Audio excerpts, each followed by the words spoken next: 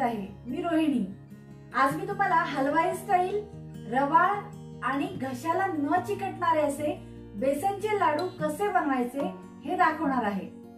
चला तर मग लाडू बनवायला सुरुवात करूयात.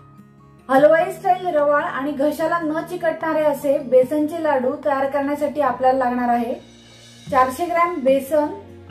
बेसन आपल्याला कंपल्सरी चाळून घ्यायचं आहे. हे मी चाळून घेतलेले आहे.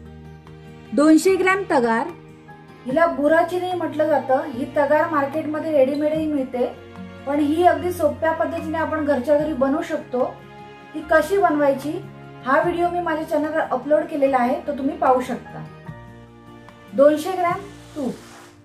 इथे मी थोडे बेदाणे घेतलेले आहेत आणि दोन टेबलस्पून चारोळ्या घेतले आहेत. ड्रायफ्रुट्स तुम्ही तुमच्या आवडीनुसार घेऊ शकता. आणि एक टी स्पी मी वेलची पावडर घेतलेली आहे. चला तर मग लाडू कसे बनवायचे ते पाहूयात.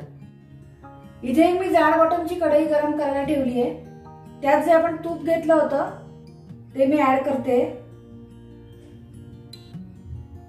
दोनशे ग्रॅम तूप पैकी थोडस दोन चमचे तूप मी शिल्लक ठेवले जवळजवळ दोन टेबलस्पून एवढे तूप मी साईडला ठेवणार आहे.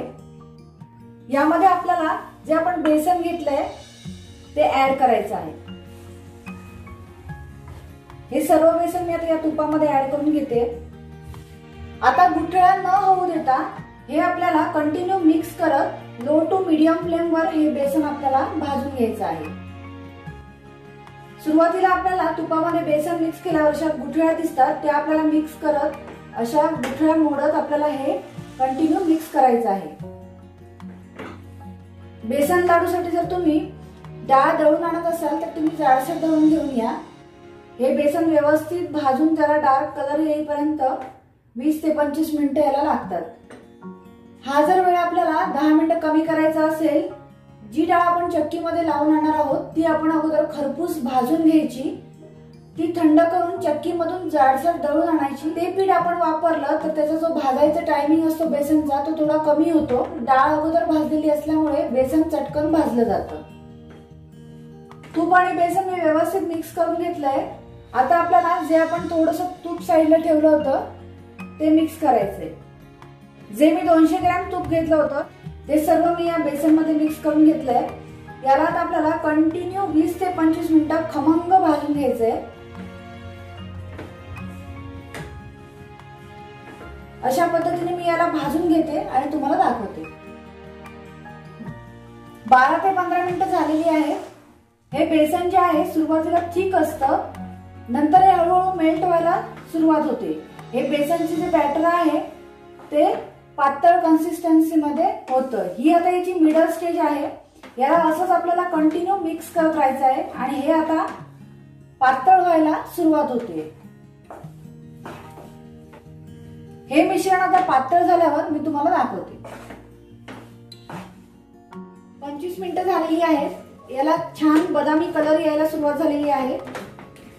हे आपल्याला असंच कंटिन्यू पुन्हा तीन चार मिनिटं मिक्स करायचं आहे. बेसनला एकदम छान कलर आलाय. आता या स्टेजला आपल्याला गॅसची फ्लेम लो ठेवलेली आहे मी. आणि यावर आपल्याला एका वाटीमध्ये पाणी घ्यायचं आणि हाताने यावर आपल्याला जस्ट पाणी स्प्रिंकल करायचं. पाणी स्प्रिंकल करून याला असं मिक्स करून घ्यायचं. पाणी स्प्रिंकल केल्यामुळे जे बेसनचं टेक्स्चर आहे ते रवाळ व्हायला सुरुवात होते. यावर आपल्याला पुन्हा एकदा हाताने जस्ट थोडं थोडं एका चमचा पाणी असं हाताने स्प्रिंकल करायचं आहे.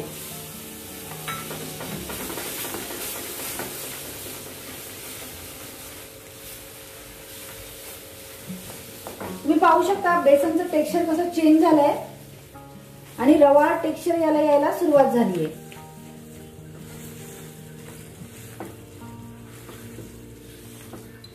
मी दोन वेळा थोडं थोडं एक एक टेबलस्पून एवढं पाणी स्प्रिंकल केलंय. मला अजून थोडं रवाळ टेक्स्चर पाहिजे म्हणून मी पुन्हा एकदा अगदी थोडस एक छोटा चमचा एवढं पाणी स्प्रिंकल करते. पाणी स्प्रिंकल केल्यावर याला कंटिन्यू मिक्स करून घ्यायचंय. पहा या बेसनला किती छान कलर आणि रवाळ टेक्स्चर आलंय. आता आपल्याला गॅस बंद करायचंय आणि एका प्लेटमध्ये हे सर्व बेसनचं मिश्रण काढून घ्यायचं आहे. लाडूसाठीचं पॅन मधील सर्व मिश्रण मी एका प्लेटमध्ये काढून घेतलंय. हे एवढं असं पातळच असतं. याला आपल्याला पूर्ण गार करून घ्यायचं आहे. याला मी आता रूम टेम्परेचरवर येईपर्यंत पूर्ण गार करून घेते आणि नंतर तुम्हाला पुढची प्रोसिजर दाखवते. मी हे सर्व मिश्रण दीड ते दोन तास पूर्णपणे थंड करून घेतलंय. आणि यात आता आपल्याला आपण जी तगार घेतली होती ती थोडी थोडी ऍड करायची आहे.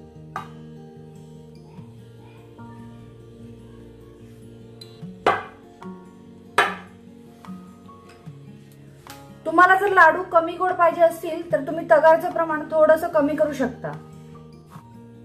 मी हे सर्व आता व्यवस्थित मिक्स करते.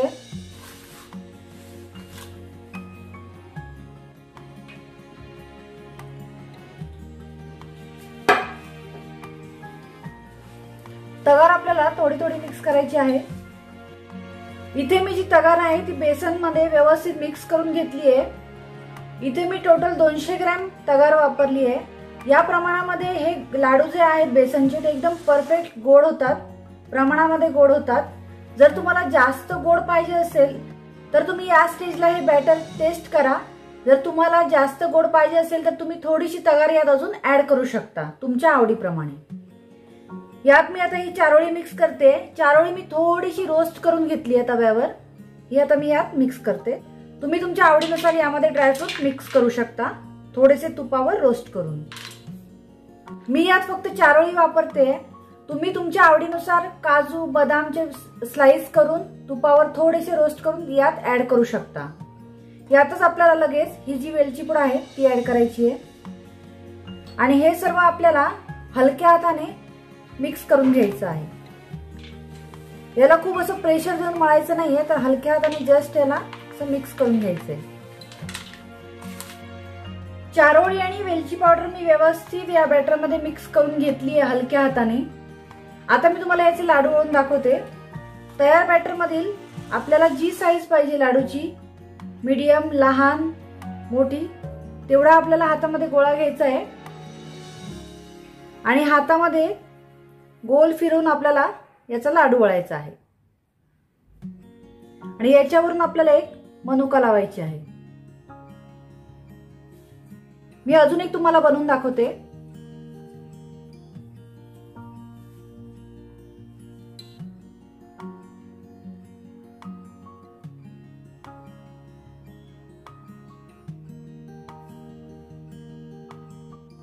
लाडूचा शेप जर नीट येत नसेल तर तुम्ही तूप न वापरता थोडस बेसन खमंग असं रोस्ट करून घ्या भाजून घ्या. आणि ते यामध्ये थोडं थोडं ऍड करा आणि लाडू वळा. अशा पद्धतीने मी सर्व लाडू वळून घेते आणि तुम्हाला दाखवते. हे सर्व लाडू मी वळून घेतलेले आहेत. मी सांगितलेल्या प्रमाणामध्ये एक किलो बेसनचे लाडू तयार होतात. इथे हे मीडियम साईजचे पंचवीस ते सव्वीस लाडू तयार झालेले आहेत. हे बेसन लाडू तुम्ही नक्की ट्राय करा आणि अशाच वेगवेगळ्या रेसिपीज मी तुमच्यासाठी घेऊन येत राहीन. त्यासाठी माझ्या चॅनलला सबस्क्राईब करा. थँक्यू